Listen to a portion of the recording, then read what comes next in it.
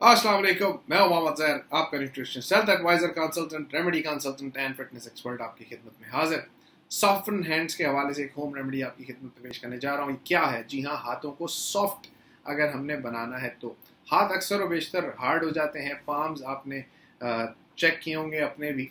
कोई वर्कआउट करता है तो हार्ड हो जाते हैं। घर की खातन जो है, वो घर के काम काज में मसरूफ़ होती हैं, बाहर के कामों में मसरूफ़ होती हैं। तो हाथ बहुत सख्त होने लगते हैं। तो सख्त हाथों के लिए क्या करना चाहिए? कैसे अपने हाथों को सॉफ्ट हम बना सकते हैं? बहुत आसान है।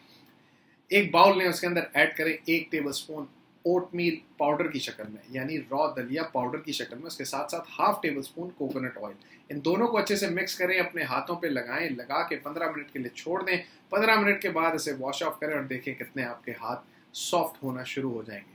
तो एक दिन छोड़ के एक दिन इस रेमेडी का इस्तेमाल आपने करना है और दो हफ़्ते तक लगातार इस रेमेडी को आपने इस्तेमाल करना है ताकि आपको 100 परसेंट रिज़ल्ट मिल जाए। तो उम्मीद करता हूँ रेमेडी आपको बहुत पसंद आई होगी। वीडियो पसंद आए तो लाइक कॉमेंट शेयर करना ना भूलें। मेरे चैनल को सब्सक्राइब करना ना भूलें और मजीद आगे लोगों तक वीडियोस पहुंचाना ना भूलें। जितने लोग वीडियोस देखेंगे, उतना उनको फ़ायदा पहुंचेगा और आपको दुआएँ देंगे। और मजीद मज़े मज़े की रेमेडीज वीडियोस इन्फॉर्मेशन लेके फिर आपकी खिदमत में हाजिर होगा अपना बहुत ख्याल रखिएगा। जजाक खैर। लव यू अल्लाह हाफिज़।